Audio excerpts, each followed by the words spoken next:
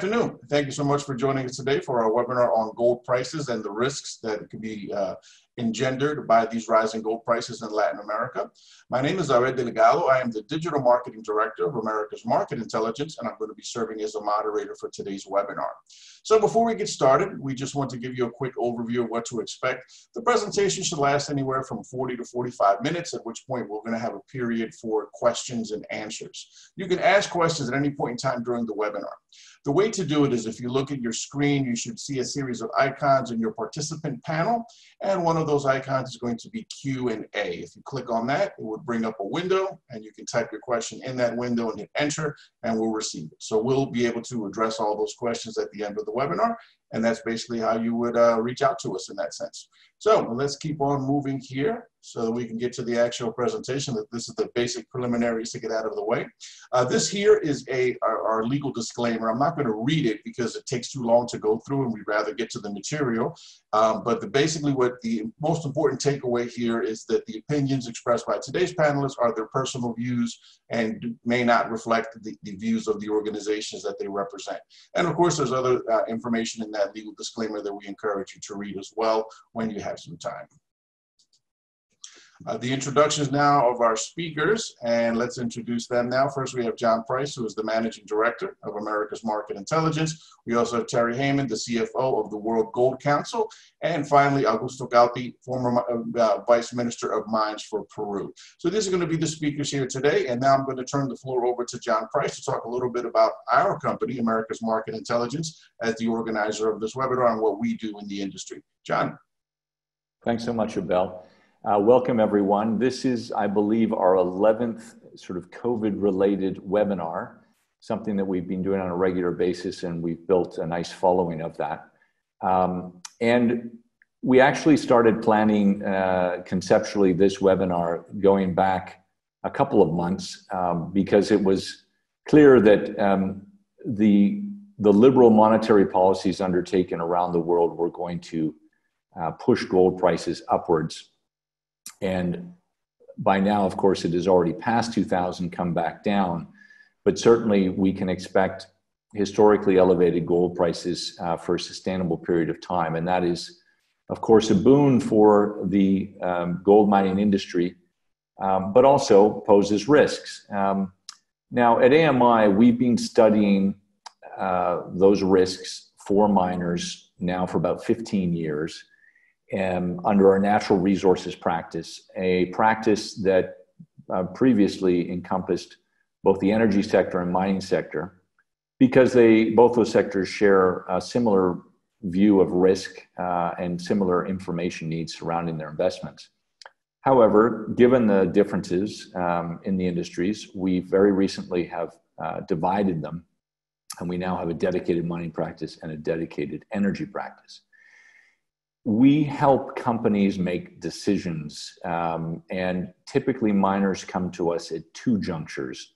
One would be ahead of investment. Um, if they're a purely financial investor, they may look to us to help them find interesting projects, um, to look at certain jurisdictions that are changing positively or negatively their investment climate to help them focus in on projects uh, when they are ready to take a serious look at a project, whether they're a strategic or financial investor, we will undertake country and counterparty risk assessment. We'll delve deeply into the risks that surround a particular project.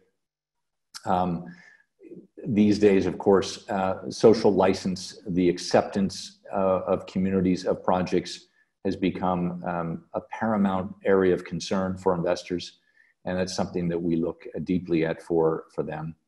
Um, we also help them come up with the their own negotiating positions with host governments, whether they're national governments or local governments. And then, of course, once a mine is up up and operating, they're going to continue to need um, regular intelligence and best practice sort of advisory, and we can and we do that for them. Um, oftentimes, it's understanding the intricacies of key stakeholders, who influences risk on the ground in, in a mine, um, who's behind uh, those stakeholders and what's driving them. Ultimately, a mine reaches out to uh, its stakeholders through three budgets public relations, government relations, and CSR budgets, and making sure that those budgets are messaging correctly, are targeting the right areas. You need intelligence to constantly refresh those strategies, and, and that's the sort of work that we do. Um, what I'd like to do uh, before inviting our, our esteemed guests to comment on their view of things, I'd like to walk uh, us all through a sort of economics 101 of where we are in Latin America. Um, if we go to the next slide. Um, before I do that, I want to ask uh, our audience to respond to a, our first poll question. There will be three in all. We'd like to hear from you to tell us what you consider the most important risk facing uh, miners today in Latin America, particularly gold miners. So community risk opposition, I think everyone's familiar with that. Security risk as well, although that includes both physical and cybersecurity. Operational risk, this can be things like inadequate infrastructure that can lead to delays. Um, this can be things like natural disasters that uh, can interrupt supply chain.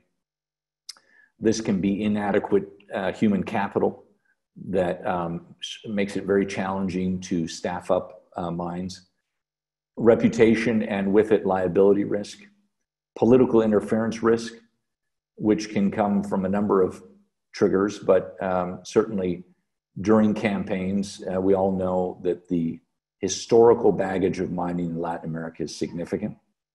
And um, oftentimes, mining, uh, particularly in periods like this where prices are rising, can become a political um, centerpiece of any of campaigns, and often uh, politicians will try to um, make a name for themselves, make a position, and say things during the campaign that become very difficult to walk walk away from once they begin governing. Um, regulatory instability risk. Again, um, there's a big difference between how countries like Peru and Chile have run their mining laws, have respected their mining laws versus other countries uh, which don't have quite the same legacy. And then economic risk, which is very much related to what we're talking about today, which is what happens when the economic situation in a producer country changes dramatically, and that puts new pressure on on miners to uh, play a larger role in the economy. So uh, we appreciate your responses to that.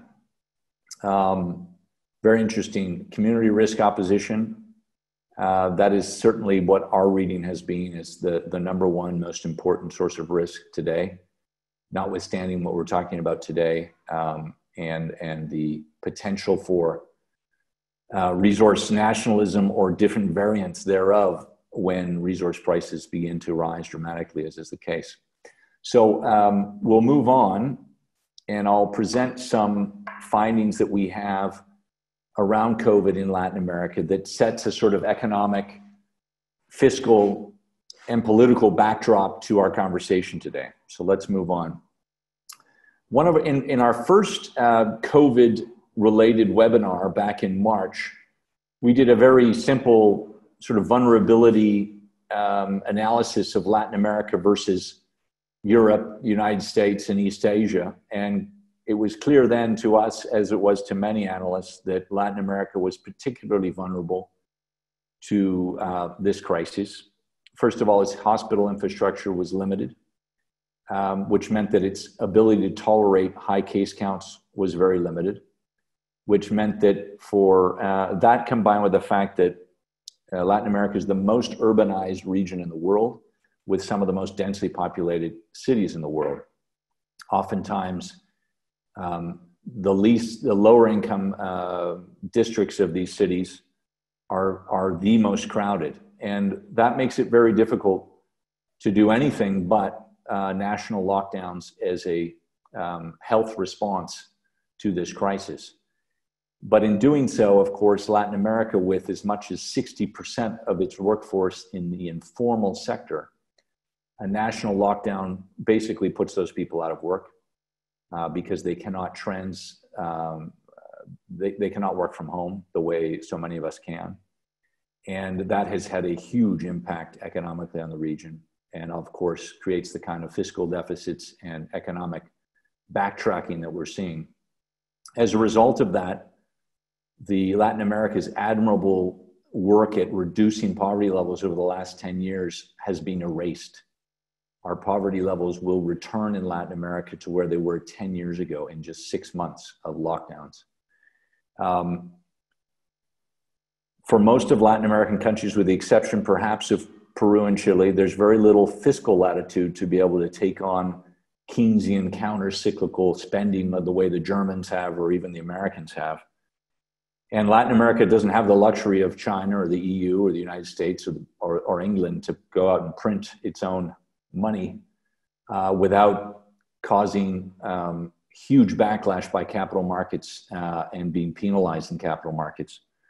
So, for all of these reasons, we knew Latin America would be vulnerable. And on the next slide, um, I want to share with you an analysis that we've very recently put together and published on our website in our insights section um, that talks about, and this is much more controversial than the previous slide, it talks about how um, COVID will actually burn out in many Latin American countries, or at least in the big cities of those countries, before the arrival of vaccines.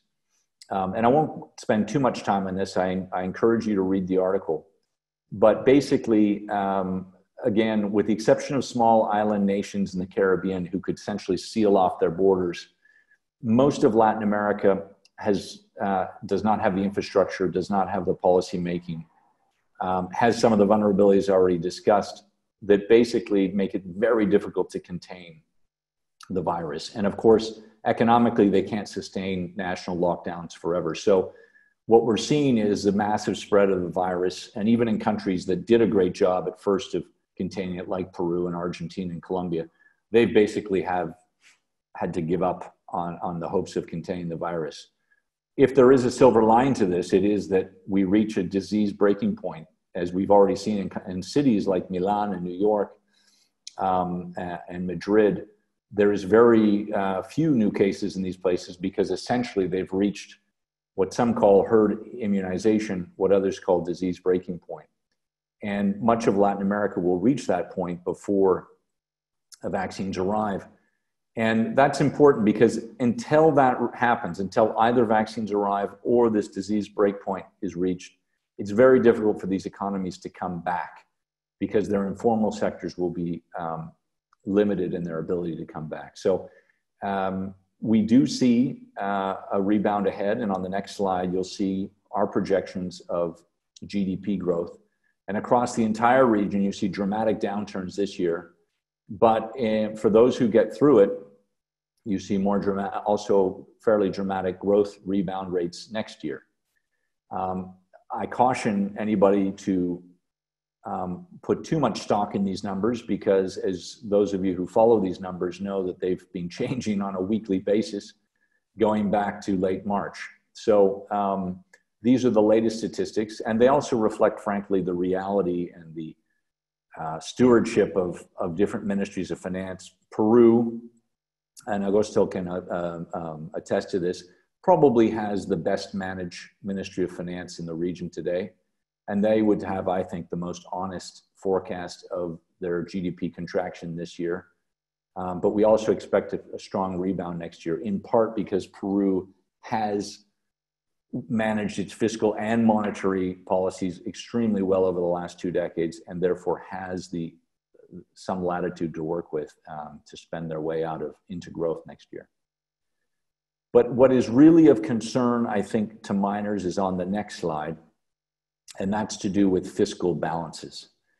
And uh, Latin America, generally speaking, um, over the last three decades, has developed, even when reasonably populist governments were in power, like AMLO in Mexico, um, they've developed um, very professional uh, institutions in their central banks and technocrat, technocrat run um, ministries of, of, uh, uh, of finance or hacienda, they call it in some countries, that have tended to follow, um, you know, internationally accepted fiscal discipline. And this has been important particularly for those countries who've achieved with their sovereign debt and investment grade status and uh, their, their willingness and their uh, pursuit of maintaining that status has what's kept, I think, that discipline in place.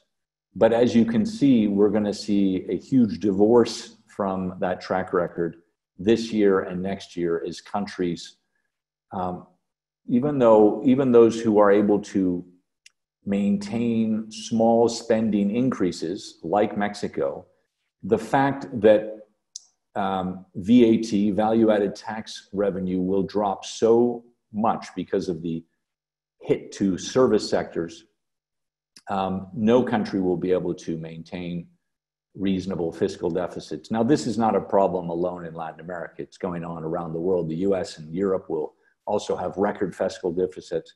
The difference, of course, is that um, they can, the, the international capital markets allow them to take on additional debt. They're less accommodating of emerging markets like Latin America. This is what I think should concern miners because these numbers show that over the next year and a half to two years, there's going to be tremendous fiscal pressure in Latin America to find new tax revenue. And if it's not going to come from VAT, which whose tax rates are already very high in Latin America. If they're not going to get incremental or much more than incremental differences from raising their corporate tax rates, which are also fairly high in Latin America by global standards.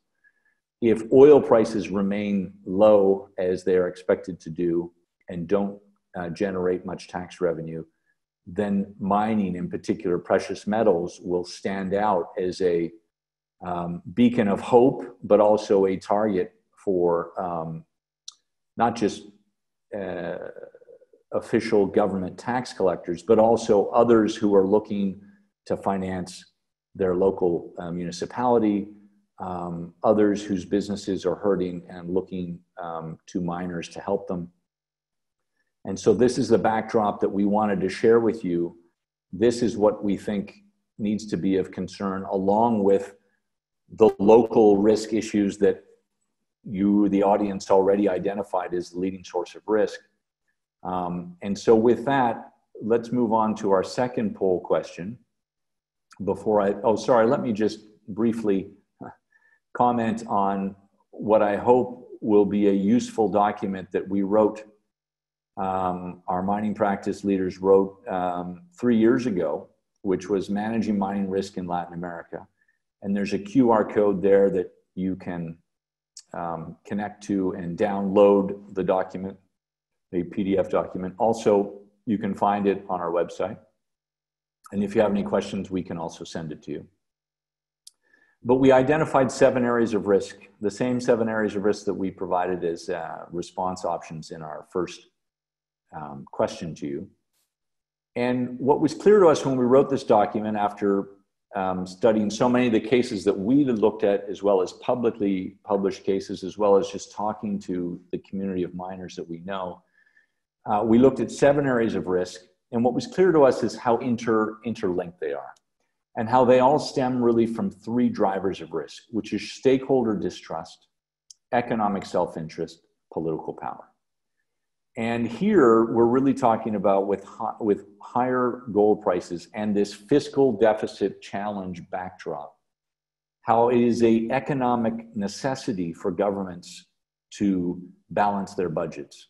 And therefore, and there will be tremendous political um, pressure on them to look to mining once again to help bail them out fiscally. And so this is the situation that miners face. Um, and with that, we'll go to our second poll question before I then um, ask Terry to join us and, and, give us his perspective.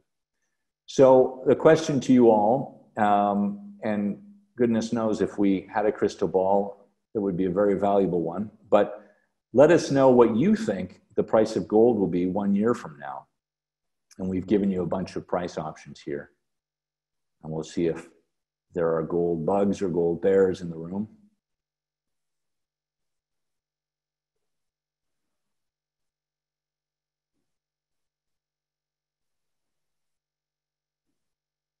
Curious to see uh, what people say here. Of course, JP Morgan and others have predicted gold will go as high as $2,500. Back in 2008, with the global financial crisis, gold dropped about 20% before then doubling in price. And this time around, gold dropped, I think it was 16%, um, and has since risen from that low um, probably around 60%. So whether you believe it will echo the uh, what happened last time or or do something differently, we'll see here. So um, there seems to be a strongest response of somewhere between 2,000 and 2,250. Okay, so with that in mind, Terry, um, I want to I want to um, before uh, inviting Terry to speak, I just want to uh, recognize the help and support of the World Gold Council, who was responsible for about uh, 40% of you arriving today in our audience. And so thank you, Terry, and to your colleagues for um, helping drum up support for this webinar. We really appreciate it and look forward to your remarks. Thank you, John. And look, delighted to be here and, and, have this opportunity. And thanks everybody at America's Market Intelligence for, for inviting me to speak. Uh, and look, I think the way that you frame this question is fascinating. You're right, gold has uh, been a very strongly performing asset this year, up about 30% year to date. Uh, and of course, a lot of that comes off the back of coronavirus and the global f- financial implications uh, and the flight to safety. And one thing that we do at the World Gold Council is help explain the role that gold plays as a financial asset, but also the role gold plays more broadly in, in society. And I think that uh, there are lots of things that we as a global community are, are thinking about in the aftermath, and as indeed we're still living through coronavirus. One of those is the role that businesses play. And that really is a, is a good thing to sort of lead into this discussion. In, a $2,000 gold price environment. And uh, like you, we don't have a crystal ball, and I, and I don't know where the gold price will be. But, but let's say it stays at around the levels that we're seeing it today. What are the expectations going to be on gold miners in terms of what they are delivering, what they're delivering for a broad range of stakeholders? for communities, of course, and I think it was very really interesting to see the response to the first poll question uh, and and that uh, it's a very strong feeling that there will be increased pressure from communities, uh, obviously governments, both in terms of the ability for mining companies to deliver tax and royalty income, but also increasing expectations about what mining companies, particularly gold mining companies, uh, are doing and delivering and, and the value that they contribute to the societies that they are part of. But also a broader group, investors, who obviously are looking at uh, their interests both in mining companies and, and in gold itself, uh, and indeed others uh, and consumers in, in gold, people who think about the way the world works, increasing interest in supply chains and, uh, and, and, where gold comes from and how it's produced. So I think we are absolutely going to see an, an increase in interest in gold, an increase in expectation on gold mining companies. And I think that uh, that is all exacerbated by the gold price being where it is. Uh, so I'll give you a few thoughts, but let me just start with a brief introduction, and I will keep this brief about the World Gold Council. We are a membership organization. Our members are the leading gold mining companies of the world, many of whom, uh, I'm delighted to say, have operations in, in Latin America. Uh, we are a global organization, and I should say from the outset uh, that whilst I've got a, a, fair amount of familiarity with the gold mining industry, uh, I'm afraid I don't have that much in depth insight into Latin America. So uh, I'm afraid I'm not going to be your, your, Latin America specialist, but there are many others on this call who, who bring that to this conversation.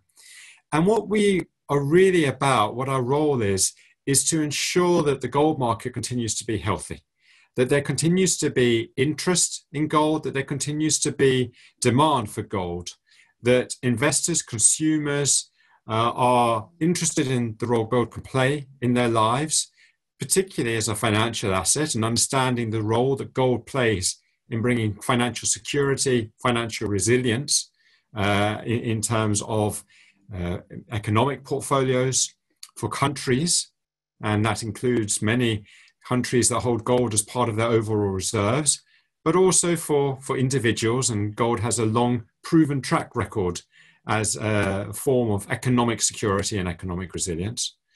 But we also think about what the gold industry collectively, in totality, needs to do to demonstrate that it has a very positive, meaningful role in the world we live in today. And indeed, that gold and the gold industry is contributing to society. And I think that's a good point to come into this question of $2,000 gold. Uh, is it good? Is it bad? What does it mean? Well, let's talk about the good.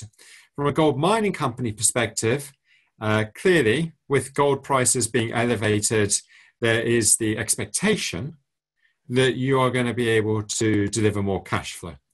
And all things being equal, and that's rarely the case, but all things being equal, sure, if costs are managed, if costs are maintained, there will be incremental uh, cash flow being produced. And, and that's a good thing, yes, for the investors in those gold mining companies, but actually for that broader group of stakeholders. And one of the things that I would really like to sort of think about in, in the conversation today is the role that gold mining companies can play in distributing those proceeds of the benefits of, of gold mining, of converting a, a resource that's buried in the ground to something that has economic value, to the other stakeholders that all get part of that economic pie to the employees who obviously take home uh, income from, from working at a gold mining company, to the communities that should prosper from being uh, connected with a gold mining operation, uh, both, yes, potentially through some donations and grants, but particularly through the economic opportunities that are created in an area as a result of a gold mine company being there, the ancillary benefits, if you like, of gold mining operations. And good gold mining companies do care about the broader economic environment where they're operating and look to strengthen that. But also, gold mining companies contribute positively. Uh, we've seen many examples of that during uh, the, the last several months in terms of contributing to supporting healthcare capacity, um, supporting education around what this pandemic is, uh, what we're seeing, what we're learning. Gold at 2000 should be the opportunity for that to be extended further. And I think that's really positive, and I, and I think that that is an expectation that is valid on gold mining companies. On the other side, John, and you talked about this a fair amount, that there will be expectations of increasing the tax and royalty take. There will be increased pressure on the financial position around gold mining companies. Um, and I think that you can understand that. What I would say it's important to consider in a, in a balanced way is well, who is taking the risk and who seeds the proceeds? And this all comes back to an equitable distribution.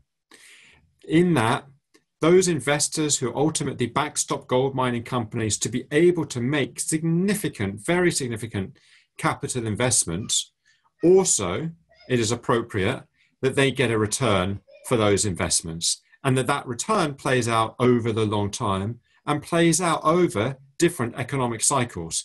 Uh, we've also got used now to the idea that there are uh, economic cycles and the gold price responds accordingly. Indeed, that for us is one of the very good reasons to, to hold gold in a balanced financial portfolio is it helps balance out some of the ups and downs that you see through those economic cycles. And so I would say the question that governments need to be thinking about is both what is equitable, and obviously there are legal agreements in place, but this concept of, of equity, and also importantly linked to that, how do they create the environment that promotes future long term investment.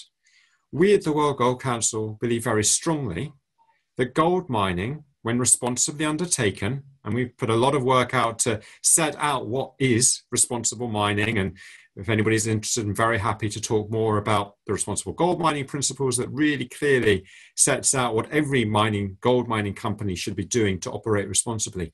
But when a gold mining company is able to operate responsibly, the economic and social benefits for the community and the country are very significant in terms of those payments to employees, community contribution, helping support education, healthcare, and that is the balance. And so, as we move into uh, potentially a sustained period, again, no crystal ball, but a potentially a sustained period of, of $2,000, how can governments work with mining companies, but also, really importantly, work with communities to think about the long term, to not jeopardize the short term, and to, um, if you like, deter future investment. And there will always need to be future investment to be able to furthermore uh, be able to make a, a, an economic case for mining uh, and to be able to bring that investment on board uh, and continue to seek investors. And I think good governments want to attract good mining companies and vice versa.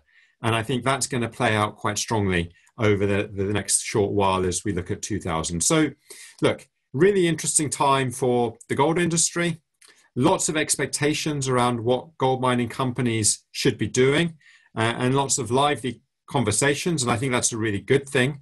Uh, the 2000 price definitely gives the opportunity for more contribution and for more participation, but it has to be equitable. With that, John, let me finish and uh, hand it back to you. Great. Thank you, Terry. Um, and I've got a lot of questions for you, and I know um, some of the audience want to ask questions as well of the of the WGC. I want to remind us all um, that because some of you came and joined the webinar after Abel had walked us through how to pose a question in the webinar. Uh, at the bottom of your screen, you will find a Q&A icon, or if you don't, if there's three dots, click those dots and you'll find the Q&A icon.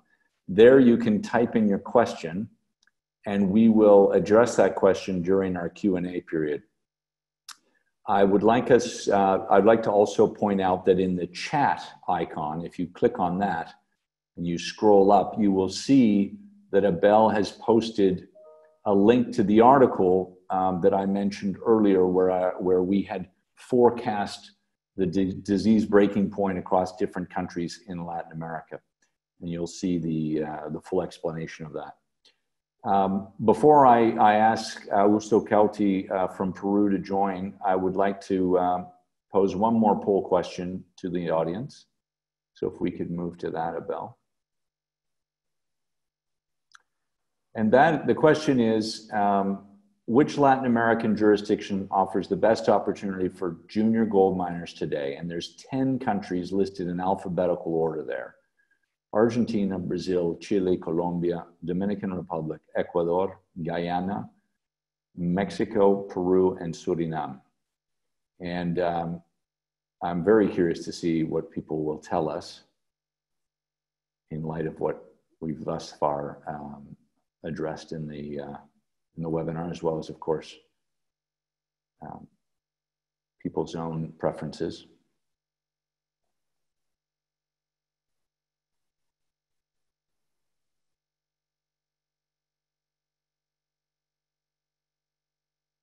And as we await your responses, um, I want to uh, point out that Augusto will uh, be sharing some of his slides that he's put together Augusto, very recently, two weeks ago, um, left his post as Vice Minister of Mines in Peru, um, a hugely important position that, of course, uh, in, in this uh, particular juncture of Peru's mining history is a, is a notable one.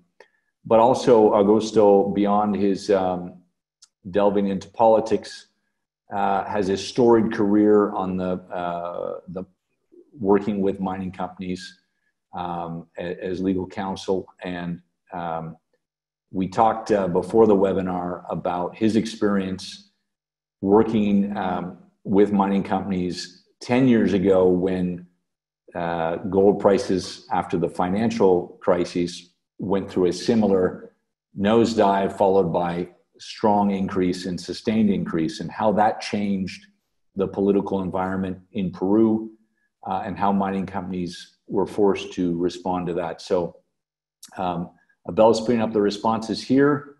Um, we clearly have some uh, strong Peru advocates uh, responding here, uh, as much as 30%, which is pretty strong endorsement of Peru out of a list of 10 gold producing countries in Latin America. Um, so that seems like almost picture perfect uh, tangent for you to join, Augusto. Uh, thank you so much uh, for joining the panel today. We look forward to your remarks, and I'll uh, ask you to go ahead and share your screen as you um, begin your talk. Uh, turn on your camera and your, and your microphone. Thank you. Uh, thank you, thank you very much, John, for the presentation, and thanks to Americas Market Intelligence for the invitation to this uh, to, to join this panel, this webinar.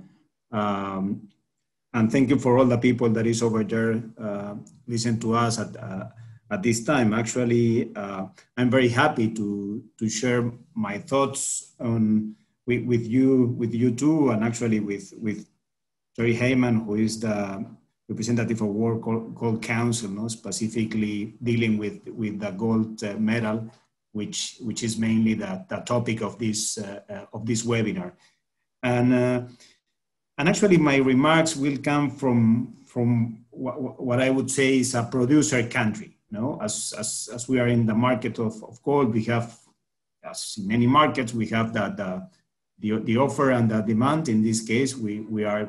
I'll be talking from the experience from a producer from the offer side uh, uh, country like like Peru. Actually, uh, I have to say that uh, uh, it's very important to, to mention that as opposed to what we've been looking in by, by the end of 2019 when we actually were coming to this year on a very optimistic way and, and, and now i'm going to talk about my my last tenure as uh, 15 months as, as uh, deputy minister of mines in peru of, of, uh, of having a third year continuous of uh, growing in investments in the mining sector. Actually, we overcame our our our goal was six thousand million dollars. We we executed uh, more than six thousand one hundred fifty million dollars in executed investments in in that sector. So we were really very very optimistic on on the situation for this year. Suddenly, uh, it came the the coronavirus and and what happened to, to the sector as, as, as happened to many other sectors and, uh, and has happened to many other countries uh, is been quite uh, surprising, unexpected. Uh, and, and in this, uh, we have to deal with this, with this situation uh, with the particular also complex infrastructure of health that we have in our in countries like, like Peru, know, the situation of, of, of the sanitary situation, the lack of infrastructure for, for overcoming uh, this type of pandemics uh, was actually uh, a very important also matter to, to take a, a look at. No? If, if we compare to countries like Australia or Canada, which are also very important players, and Peru is one of the important players in, in, in the mining sector, the difference in, in what the health infrastructure and, and, and the situation got to do with this particular situation at, at this time. Uh, but this task was, was uh, of course, difficult, was complex, but also involved a lot of crea creative, uh, uh, uh, creative issues from, from our side, from, from people in the government that, that we work together on this, but also from the private sector. No? In this situation, we all have to, to get our best in, in order to overcome this, this situation, which we are trying to overcome. But, but I can tell you from, from, from my experience uh, in the ministry uh, a few, few, few, weeks ago is that uh, we are still in, in the process of, of reactivating the, the, the, of the reactivation of the sector. Actually, the sector, if we see the numbers of the energy of the main pro mining producers in Peru, they were in, in the same levels of consumption of energy as, as they were in, in, in times of pre-pandemia. So that shows that reactivation is, is in place. Uh, actually, the production from Ju- June to uh, from May to June and to July is being just growing and and and, and keep uh, closing the gaps of exportations if we compare those numbers from 2019. in this, let me let me show you a little bit of, uh, of, of, the presentation that I that I make for for this event, and just uh, basically what I wanted to to present here is uh, wh why these views from from a country like like Peru, and and then a little of the okay. Uh, of course, Peru is a, is, a, is a leading country in the mining sector. We are in production number one in, in gold, in zinc, in lead, in tin in Latin America. In uh, worldwide, we are number two in, in copper, in silver, in zinc.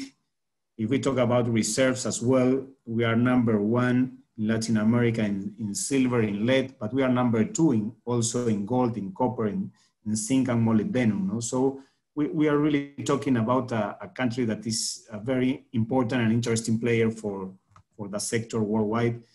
And, and actually for the country as well, no? Uh, actually, a few minutes ago, John was talking about the 20-year growing of Peru in the past two decades. Uh, and, and, and this continuous growth was basically supported by this engine that was the mining sector, no? As, as we see, know, if you see about GDP, we represent uh, uh, approximately between 8 to 10% of, of Peruvian GDP. We generate with that. Uh, there are some studies on this around 15 to 17% of what the, the, the, the, Peruvian treasury collects from the, from the, private, from the private sectors. Uh, and, and in terms of exportations, we represent around 60% of what Peru exports. No? So that means that we are a very important player for helping on making the macroeconomic stability of the country during this situation eh, in general no, in, in the country. But of deposits quality in Peru, no? we are a country that, of course, we have a, a, a very important presence worldwide on copper and, and and in Peru is the, the main product that we export in, in our country is copper. But in gold, we are also a very important player uh, that also represents uh, uh, around 17% of what we export. But, but also in terms of explorations, and that's important for, for what you just uh, respond, many people on what, what, what the scenario for, for junior miners in, Latin America, and is one of the top countries that receive budgets for explorations worldwide. No? We are uh, around number four, number fifth uh, last year in terms of what uh, we collect from explorations budgets worldwide for, uh, and, and, and that's basically for two or three minerals, copper, gold, and, and zinc, which are the major ones. And the portfolios, uh, as is, if we see in terms of numbers, we have in the portfolio of mining explorations 21 projects in gold, 18 projects in copper, 8 in, in zinc. They are in different stages of, the, of advancement. So that, that shows the importance and that shows the presence and that shows what is going on in the explorations area, which actually are the ones that keep the sustainability of the sector, no? despite of the production side, which is, as I'm saying, close to 90, 95% of, of, of recovery in, in production at these times. Uh, having having to, to, to, to, say that about Peru from a regional approach, uh, let me tell you just briefly uh, in two, three slides what I, I, think we should be looking at in general, the investors and people interested in the mining sector, no? Uh, what's the attractiveness for, for, for mining investors uh, worldwide in, in, region, in the region, in, if we see at the Fraser Institute, the last survey published by them, Chile in position number 17, Peru in position number 24, and Mexico in position 38 are, are the first three countries in Latin America for, for purposes of investment in the mining sector. Uh, of course, the, the, the, potential in terms of the geological potential, Peru is, is in the number 12 position, so it's a very important market. I believe that's also why many of the people respond to the poll uh, recently that Peru is a very important or, or quite important jurisdiction for them. Uh, the fiscal framework for, for investments no, uh, is also very important for, for investors to, to have in mind was, was the income tax rate. Uh, if we compare in Peru, we have 29.5% a corporate uh, fiscal tax uh, income tax rate, which uh, actually put us on a on a competitiveness uh, on a competitiveness situation if we compare to other markets in Latin America. And actually, if we add to the income tax the other taxes that were created in the previous government eight years ago, uh, probably that the fiscal, uh, that, that, the total fiscal uh, rate in Peru totalized amount 48%, between 47 and 48%, which actually put us on the on an average on the in the in the average uh, uh, level of the of the whole jurisdictions that are important for the mining sector. No? And, and that's also important, as, as John was saying as well, that we have to take a look on what what what would go on, going on after uh, what we are happening in this year, uh, how governments are going to react in, in, order to try to collect more monies for uh, doing the recovery of their economies, but also to have a comprehensive look of, of the situation, uh, and I would say in, in, in, Peru, but actually in Latin America in general, in the regional, in the region, in spite of the attractiveness that, that we've been talking and the fiscal, it's very important to take a look in, in this current situation at what would happen with the social issues, the social considerations, social conflicts that we have in the, in the several regions and countries, and actually that have increased with the coronavirus and the COVID-19. The political matters, no? What, what's gonna be the, the decisions that the governments would face? What's gonna be the, the results of the elections that some countries will have between now and, and next year? Uh, also very important when we are talking about gold in, in, in countries like Peru, what will happen with informal mining, what will happen with the, also with illegal activities, no? with these prices of gold uh, coming to historic price of uh, around close to $2,000 per ounce, it's very important to see also what would happen with, with, with these uh, two particular issues. And uh, finally, with this, I, I, just want to, to address the question that John has mentioned to me on what was the experience uh, 10 years ago in, in Peru, no? And, and uh, I could say uh, from my experience at that time, in, in the, actually in the mining sector, but working at the, at the private sector at that time as general counsel for a transnational company, it's, it's been that during those years, as you can see in, in the investment side, of course, no, in 2010, 11, 12, 13, there was a growth of investments.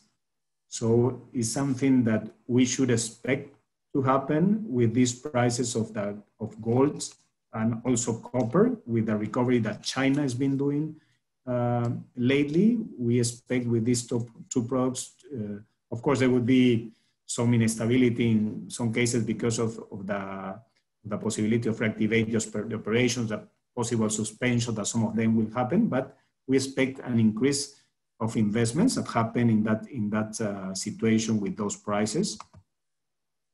Uh, in terms of production, uh, actually the, the impact, as you can see here also in Peru at those years, 2010, 11, and 12, if we compare to what happened before and what happened in 2013, 2014, 2015, it was a really growth also of production. So it's not only more money coming to invest to, to develop new mines, to, to, to do more uh, investment explorations and, and also in implementation or, or, or to, to increase their their current capacities, but also the, the same production of, of the companies. It, was another important uh, way to look at this. And also what happened at, at that time, as you can see, 2010, 11, 12, was a, an increase of the amounts of exportations in the mining sector. Uh, we were talking at $7,000 million, $10,000 million in 2011, 2012 and then there was a decline of this. No? So that's also another another important indicator on what could happen in with these current prices of the situation. And of course, finally, uh, it's very important for producer countries like, like us in Peru, uh, I always repeat this. You know, in the mining sector, we have to always take a look of what, what's going on abroad, what's going on outside our country. It's not only important to see what's going on in Peru, but what's happened with the region, what happened worldwide. We, we, and in this particular scenario of the coronavirus, we need to take a look very, very serious, all the countries of what's going on with the destiny of our exportations, in particular in gold. We need to follow what's going on with Switzerland, what's going on with Canada, what's going on with India, what's going, what's going on with the Emirates, uh, the Arabs, uh, uh, and the United States, which and China, no, which are important buyers of our production uh, in gold, but also uh, some of them in, in copper. No? Uh, with this, I, I want to just uh, stop. John, I, I tried to, to, to make a summary of, of different topics, but I think it was important to see why, why coming from Peru, what's going on with the regional approach, and what happened 10 years ago. And probably I can comment a little bit more, more of the risk and opportunities that you mentioned at the beginning, also from a, from a producer's country in, in, the, in the next round. Thank you. Great. Thank you so much, Augusto. Um, again, thank you both, Terry and Augusto. We're now going to um, uh, begin our sort of open questions and answer session. Again, uh, at this time, um, we have eight minutes remaining in our official time that we uh, put in our invitation, but we will remain online up to as late as 38 minutes from now to answer uh, as many questions as the audience would like to pose us. And I'm going to give the audience a few more minutes to uh, scribble any more additional questions. Again, go to the Q&A icon to insert your questions. Terry, I have a question for you. Um, the last time, as Augusto was pointing out 10 years ago when resource prices rose and the, the investment climate changed, um, there was a lot of talk, and I believe uh, at the time, I can't remember if it was the IMF may have opined upon this, but there was talk about miners uh, moving towards um, royalty formulas that were flexible in the sense that they shared both the risk and return of gold of, of, of mineral prices. So when mineral prices went up, um, the, the amount that was shared proportionately would also increase with the producer nations. And when prices dropped, uh, instead of having rigid formulas that would essentially drive mines into inoperability, um, the, the host country would receive far fewer uh, royalties as the mine was adjusting to a low price environment.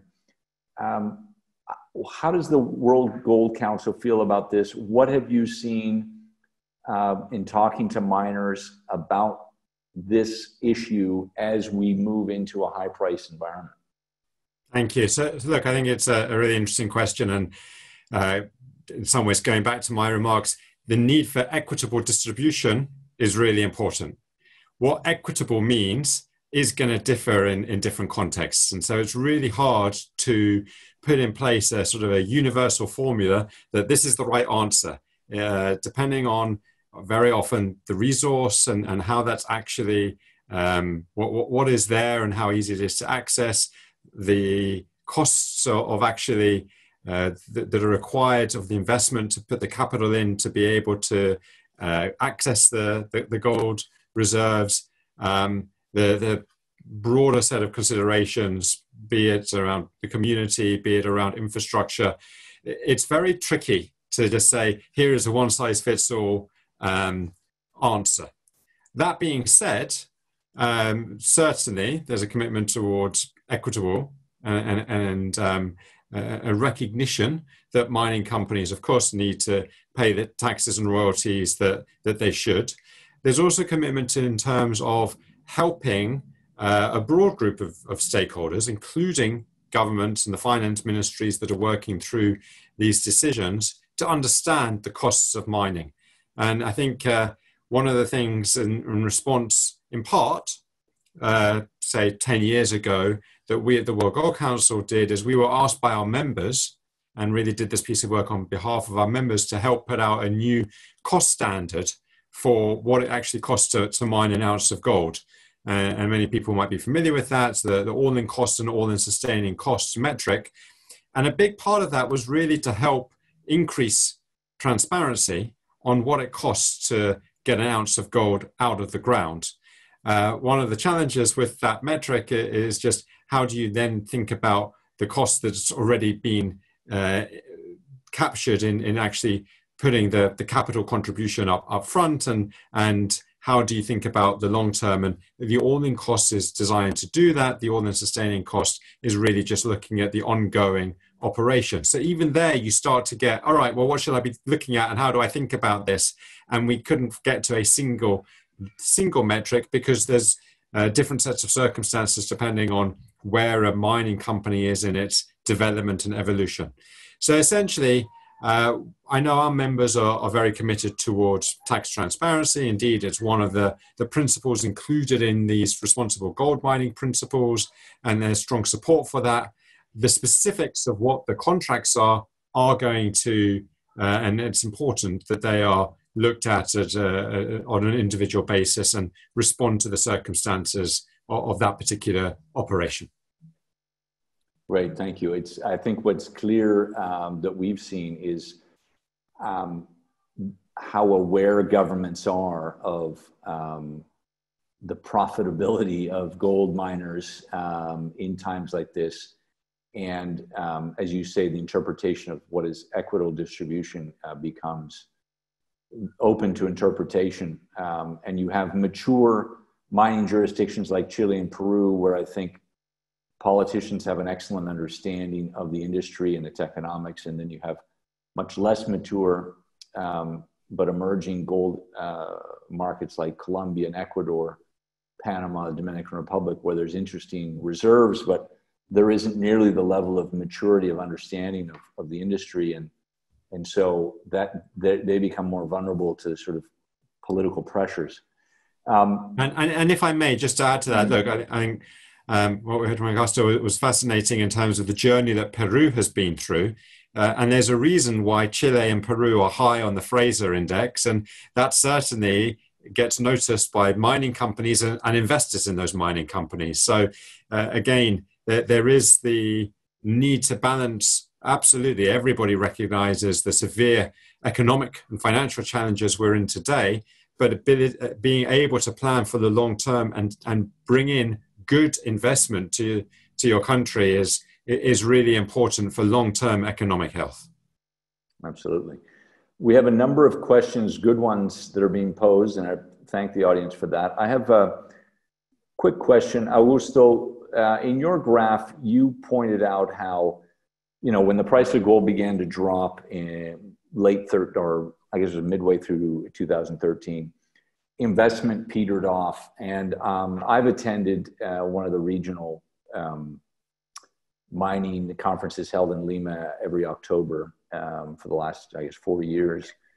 And it was it was tremendous to see, you know, where you see a real change overnight is the financial prospects and the investment prospects of junior miners, and how we've seen very little exploration activity uh, in those declining years of pricing. If you were to look at Peru today, between exploration development and the arrival of you know large industrial miners, where is there a need um, to build a healthier mining industry? Is it in exploration? Is it in uh, the development of ex- already explored mines? Is it in the maturing of mid-size um, operating mines into something bigger? Where do you see the need for investment greatest? Uh, well, very, very, important question, and I would say with, with, with this situation, of course, the investment in all the different mining sites or strata will be will be really more than welcome in our in our country, you know. But uh, coming from a more specific view uh, from from my previous and just uh, just previous experience as, as deputy minister in Peru, I would say that uh, explorations would be the, an area that we as a country has to really focus more. Since once companies are in production uh, with the management capacity that they have, with the logistics that they can manage, I think situations like this one, they will overcome the situation. I think the, the miners that are already in production, they are, they are uh, very responsible. They, they, they, they know what they are facing. We have a safety culture happen for, for the last 10, 20 years in Peru. And you can see with that, uh, the, the, the, numbers of accidents in the last 10 years uh, uh, coming down to 50, 60%. So all of this, I think will really help on, on, on the production side. But explorations really need to get a, a more focus. Actually, last December, uh, the government, uh, uh, we issue a, uh, devolution of, of VAT for explorations, and we have issued that law for the next three years. So that's uh, important news for, for this. Also, we have recently, uh, I think it was a month ago, we have issued a new environmental uh, regulation for explorations in, in Peru, adding some uh, what is called the silencio administrativo positivo, the, uh, the, the uh, positive silent for for, for certain proceedings that got to do with, with mining sector. So we are conscious that this is really an, an important uh, area that we have to focus and we've been doing certain am amendments to those areas. The other sector that is really worth to take a look, look at these times is the uh, small mining and artisanal mining, which we have the formal sector and we have the informal part. Of course, we have the legal side, and the legal side has to be fight, has to be fight with, with the tools that any government has to, to avoid uh, these illegal activities that, that got to do with, with, with other problems. But, but we, we really need to, to take a, a more, uh, I would say, comprehensive approach of the informal mining sector, in particular in countries like Peru, the gold is very important for that informal sector, no? which is different situation than, for example, in Chile, where in Chile you have a, a, a small sector, a small mining sector, but for copper. Uh, so it's, it's different scenario. And, uh, and in those, I think, are, are really opportunities of, uh, of investments and, and, and, and overcoming situation uh, with this. Now, of course, also with the, with the look at the long-term run, no? The mining sector, if the mining sector has something different to probably many other, so most of the other activities, is that we have a really long-term vision. No? Other activities probably think of, on, on making a, I don't know, a business, a restaurant, a commercial business for one year, six months, two years, three years. The mining sector, you get the returns after 10 years, 15, 20 years. So that's the scenario we have to look at this. Of course, the coronavirus is gonna remain, it's gonna stay for, for months, as you are just mentioning, but we will overcome this and we need to look at, at the at the long term with with probably uh, taking a closer look to explorations and what we can do with these small miners and informal area, which can also contribute to countries like like Peru. Excellent. In fact, uh, we've got a couple of questions related to artisanal mining. I'm going to take a shot at, at addressing them, and I invite um, Terry and I will also to add their comments. But uh, one of the questions was, you know, will high gold prices bring uh, more artisanal miners uh, into the fold? And absolutely, they're the first to respond. And if you think about the fact that so much uh, unemployment, um, which frankly in Latin America almost everywhere is is is way underreported because it tends to track only the formal employment, and that can be as little as thirty percent of all the whole labor force. So uh, given the disproportionate impact on the informal economies of Latin America that that, uh, that lockdowns have, the quarantines have, um, there's going to be lots of people who may have dabbled in artisanal mining in the past and moved on to other jobs will go back to it. Um, so there will be literally, you know, and and you know, it changes country to country. In Peru, They've organized a lot of their artisanal and formal miners in such a way uh, through collectives that they uh, have ways of sharing resources, um, um, working towards better standards, and a lot of them have um, you know smelters that that that specifically serve that community. In other countries like Colombia, informal mining is often associated with the worst elements of society, uh, the laundering of monies, from illicit sources.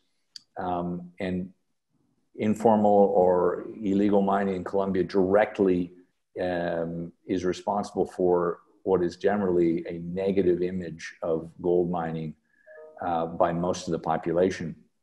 In a country like Guyana, the pork knockers, as they're known, are almost a they're almost like the the the, the 49ers of, uh, of, of you know of California gold rush. There's a uh, almost everyone in the working class environment in in Guyana has spent weeks or months in the bush looking for gold. And so the informal mining there is almost like a rite of passage for a lot of Guyanese. And um, you have to be careful how you, in other words, how you phrase it. Uh, is it negative like illegal? Is it innocuous like artisanal?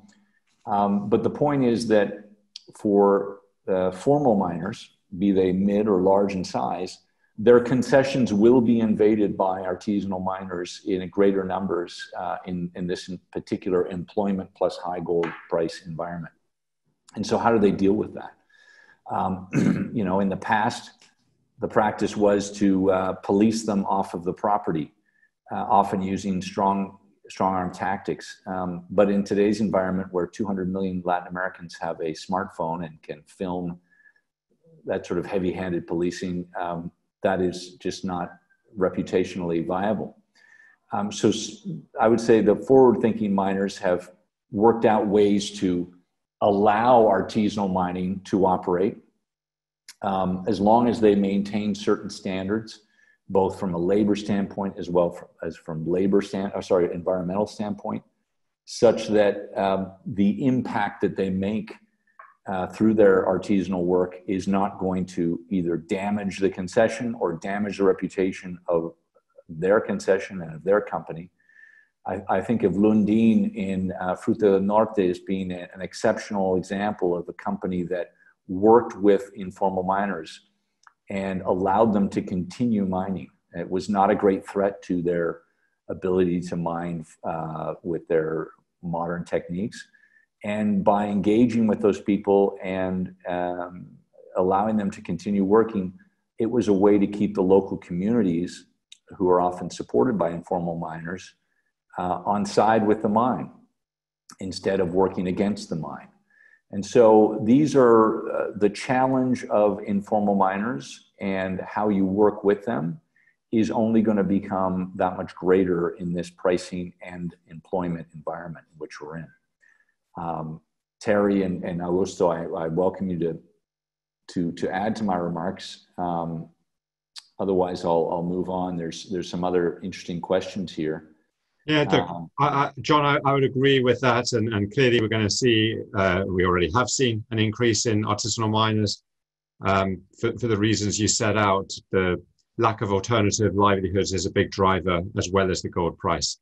And yes, I think there is uh, increasing pressure on large scale miners to, to manage those situations. And uh, everybody's still trying to find the best practice and what that is and how to learn.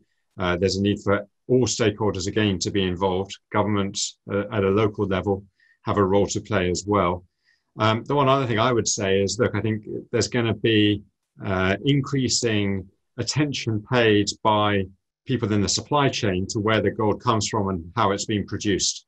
And certainly for large scale mines with the responsible gold mining principles, it's now very clear what is expected of large scale gold miners, what they need to do to demonstrate that they're operating uh, appropriately uh, around environment, around social, from a governance perspective, around getting assurance on that.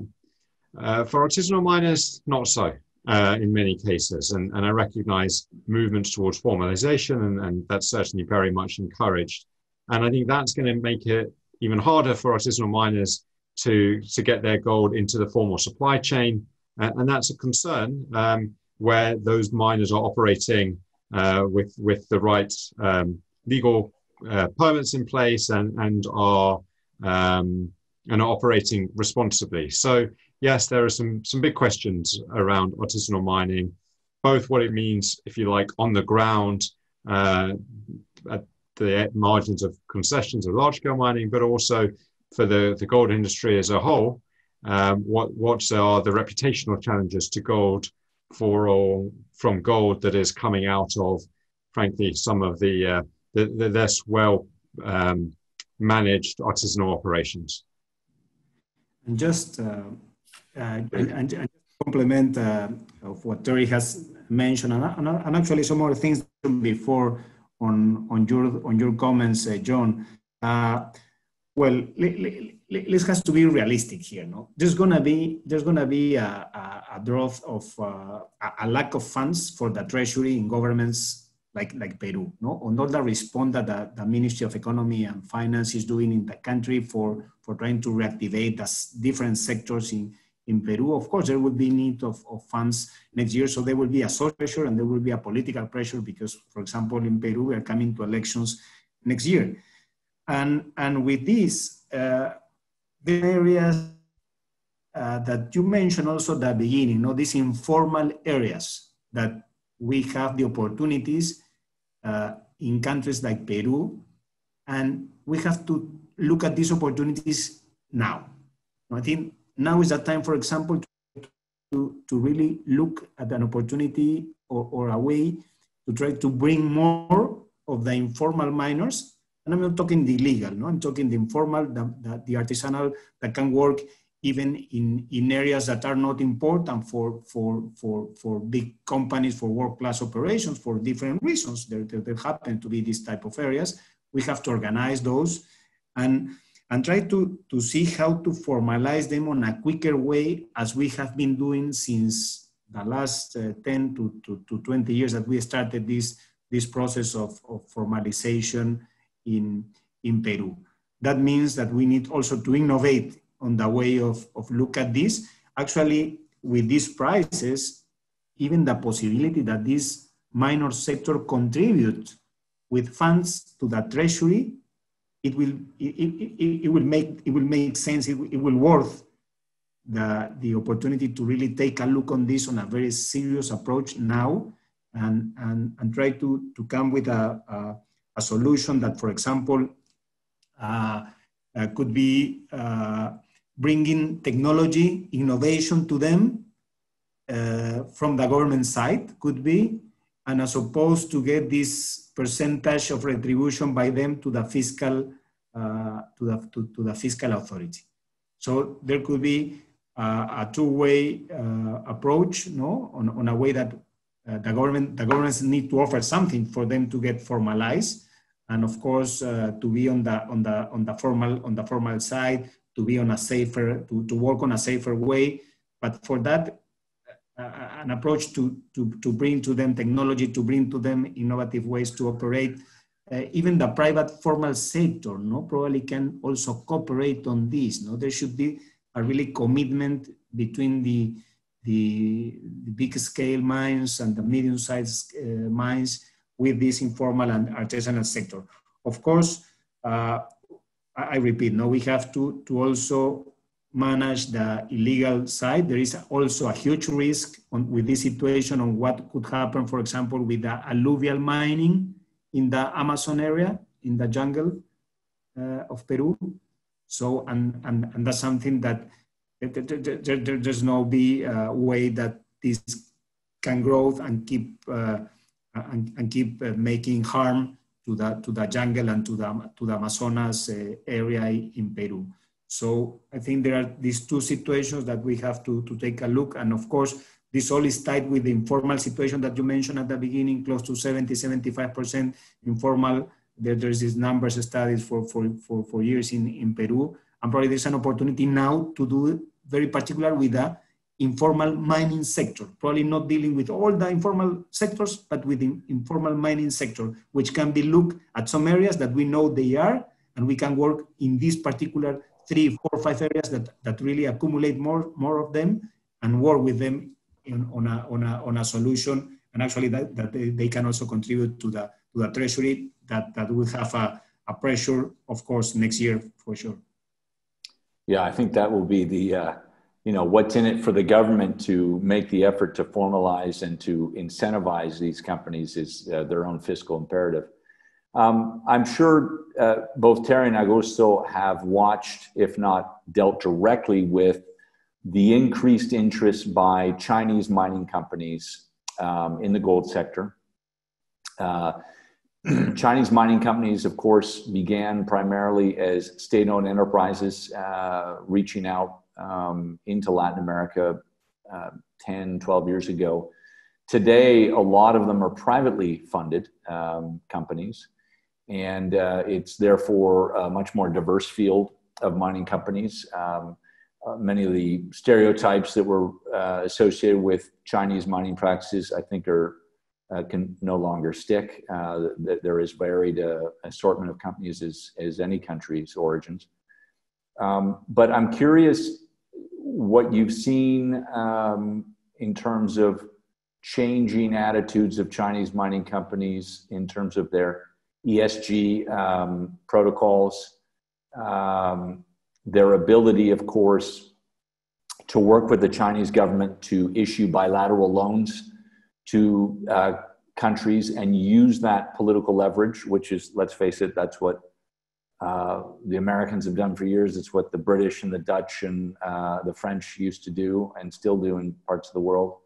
Um, how will this environment of fiscally challenged countries uh, and the ability of China to work with its companies to combine bilateral lending with uh, the interests of its mining companies. Is, can we expect more activity from Chinese mining companies uh, in Latin America, or frankly, uh, Africa or other parts of the world as well, given, given the, the fiscal crisis we're in? John, I, I think it's a great question, and um, there's no question China is uh, increasingly uh, wanting to not only uh, demonstrate its its leadership position globally in the gold market, but also use that as a as a means of engaging uh, more broadly. And so, um, I think listeners will probably know China is the world's largest gold consumer.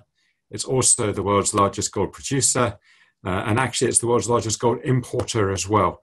So China has a, a hugely important role to play uh, in the in the global gold market. And look, we, we see that we've had operations in, in China for over 20 years and um, have been part of the efforts to uh, support uh, the, the opening up of the Chinese gold market and the recognition that the gold has a very important role to play in the, the Chinese economy. And we're aware certainly of the increasing steps uh, that are being taken by the Chinese gold industry uh, to, to internationalize and internationalize broadly.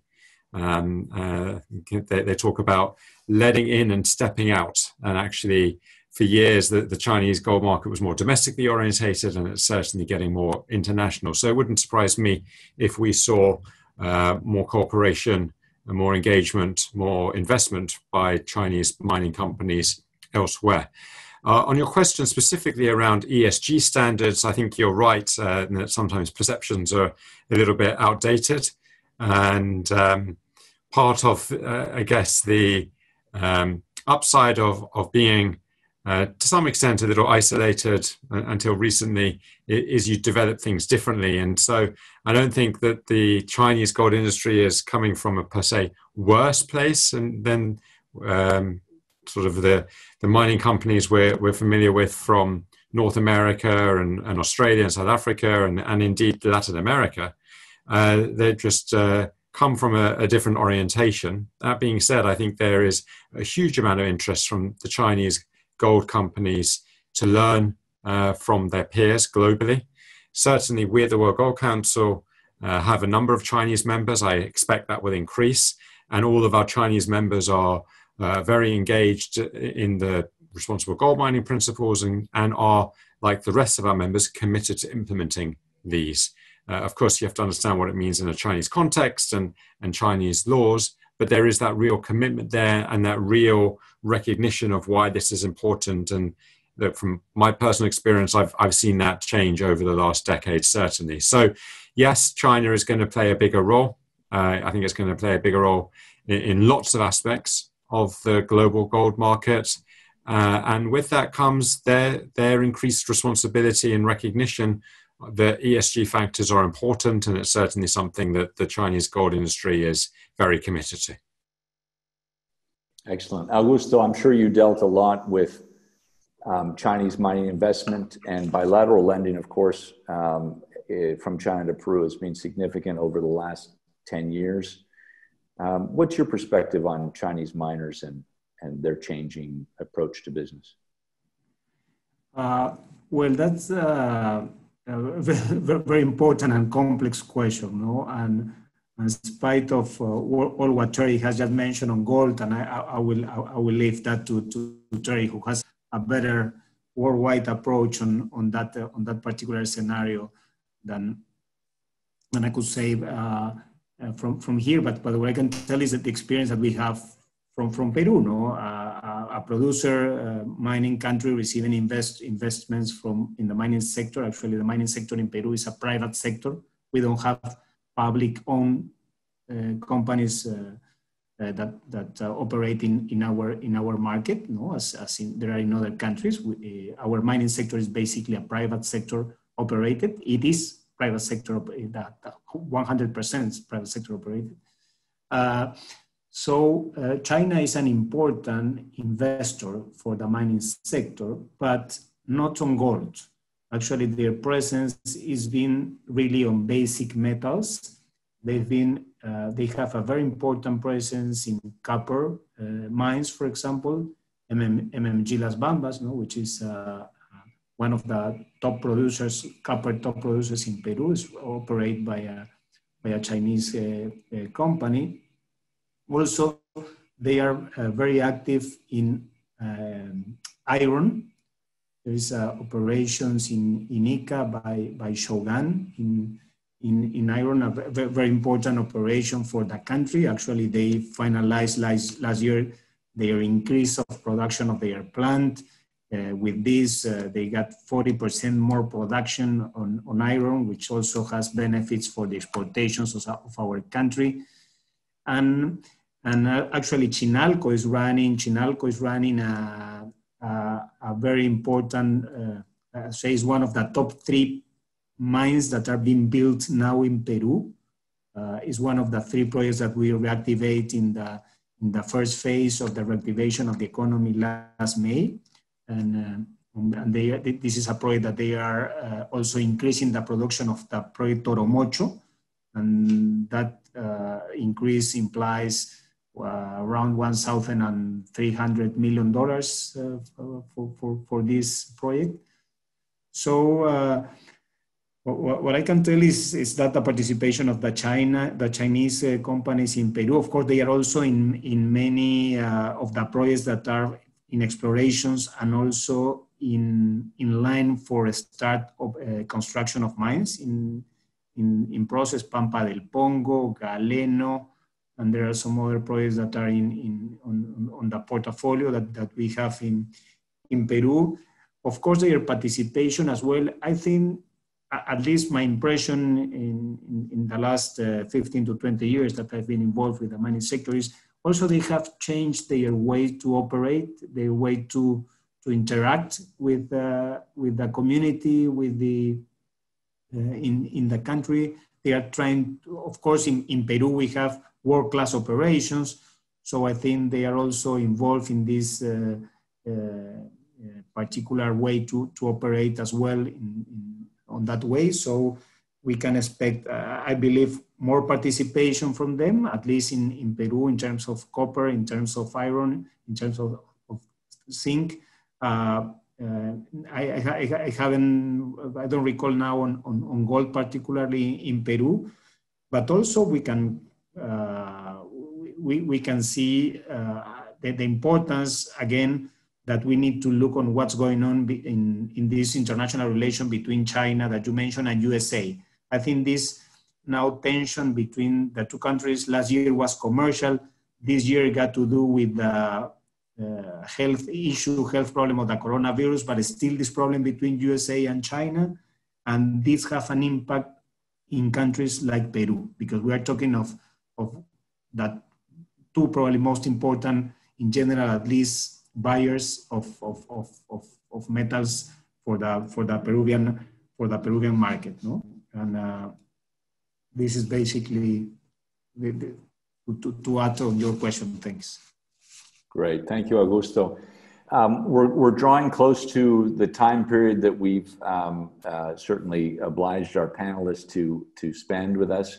We've answered most of the questions. There's a few questions that ask us to somehow forecast the price of gold and the price of certain currencies five years from now.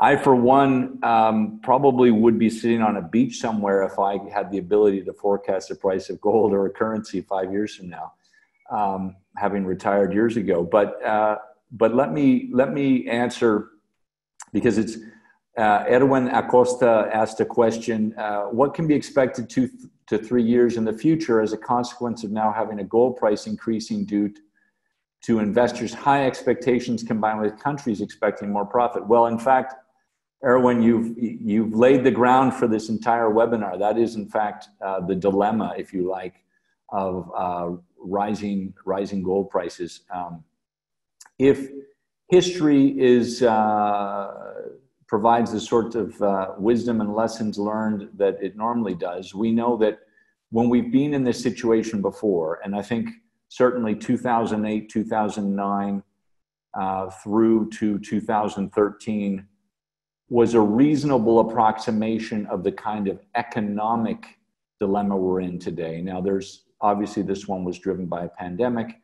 We also have a very interesting disruptive element to this economic crisis that has to do with a movement towards sort of electronic commerce and such. But for the purposes of our webinar, um, there were similar patterns then as there are today. Uh, massive unemployment, capital flight out of emerging markets, um, unemployment, coupled with rising uh, uh, precious metal prices and what we saw then and what we anticipate to see now is, first of all, junior miners suddenly having the cash to pursue projects that they didn't have just 12 months ago, um, gearing up and hungry to uh, develop mines. We have um, host countries desperate to produce employment, uh, desperate to attract investment, but also under tremendous uh, fiscal pressure to um, balance their budgets uh, or, or come closer to balancing their budgets, to replace lost revenues from uh, a strongly declined VAT uh, revenue stream. Um, you have informal mining sectors that are responding already very quickly to rising prices that bring certain employment relief uh, to many of these isolated communities, um, and also bring with them certain political pressures to be protected as a economic uh, component of the uh, uh, of the greater country's economy. But you also have the needs of miners who um, require uh, st- more streamlined permitting process so they can get to production, but also you know a lot of a lot of stakeholders looking to miners to support them in times of uh, of scarcity. And what this will lead to is more investment but more conflict. Uh, more opportunity but more risk. And it is precisely in times like this where um, intelligence people on the ground people who understand what's going on and can feed the decision making process of miners, but also of the stakeholders, of governments, uh, so that they understand the best practices to follow. And also, um, they, can, they can make decisions that are balanced, that will attract investment, but also satisfy those stakeholders who've become much more vocal and much better armed with the ability to bring their disputes and their grievances to a global stage. So uh, we are in for a more vocal, um, more rowdy, uh, more money going into mining than ever before, um, but higher stakes for host countries. So strap your seatbelts. I think uh, this industry is in for a bit of a wild ride over the next couple of years. And we certainly hope to be um, part of that and uh, a useful ally to, to miners and to governments. And I know Augusto as a very storied uh, miner in, in Peru who now operates as a consultant Terry, who uh, sits in an organization that um, is tasked with guiding uh, best practices to the industry. We will all be um, regular parts of that, and we look forward to future interactions with you, the audience, and uh, to future webinars and to working with you. Thanks everyone for your time today. Thank you very much, Terry and Augusto. bell as always, for uh, setting us up and keeping us on the right path. It's been a real pleasure, and we look forward to the next one.